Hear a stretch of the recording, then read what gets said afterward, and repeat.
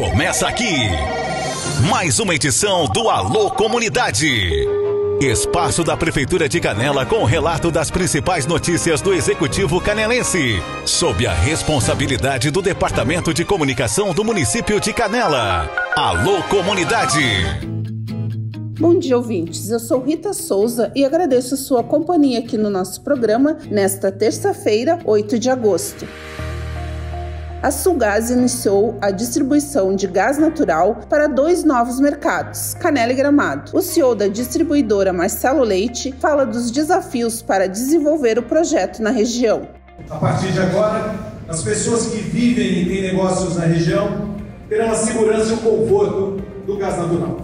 Essa foi uma das mais desafiadoras obras de engenharia do setor de distribuição de gás natural no Brasil. Com tudo isso, subimos a serra, porque para nós era inaceitável um dos principais destinos turísticos desse país não tivesse os benefícios do gás natural. Esta também é mais uma importante entrega da Sulgás, uma obra com mais de 300 pessoas envolvidas, cinco anos entre a concepção do projeto e o término da execução. Um total de 420 mil horas trabalhadas sem nenhum acidente com afastamento.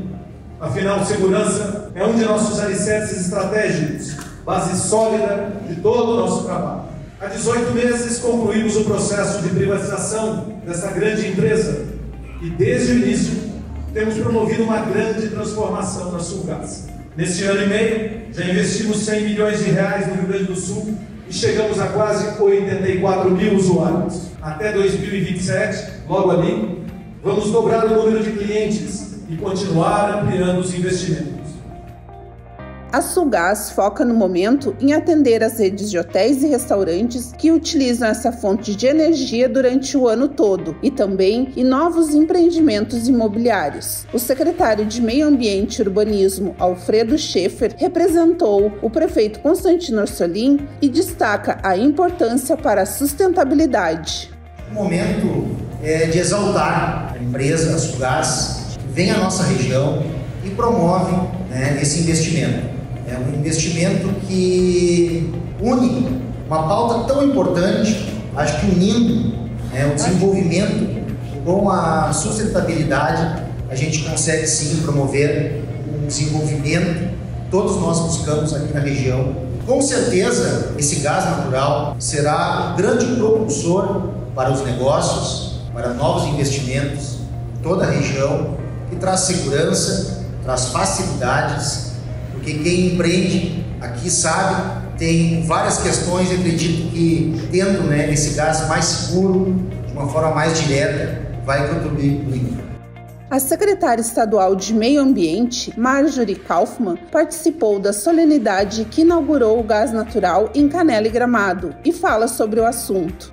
E o gás é o combustível da transição. Todas essas conversões vão precisar desse olhar de infraestrutura, vão precisar de uma mudança rápida e nós, governo do Estado, acreditamos que só com a parceria do privado nós vamos conseguir chegar, alcançar e cumprir as metas que nós nos comprometemos em vários ambientes internacionais, nas convenções do clima.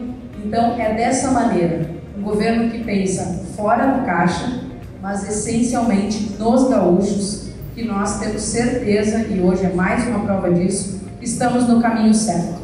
Desejamos a você um excelente dia e até amanhã. Alô Comunidade, o informativo da Prefeitura de Canela. Nossa terra, nosso povo, nosso orgulho.